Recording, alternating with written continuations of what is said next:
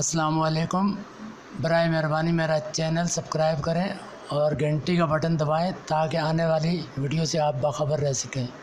शुक्रिया।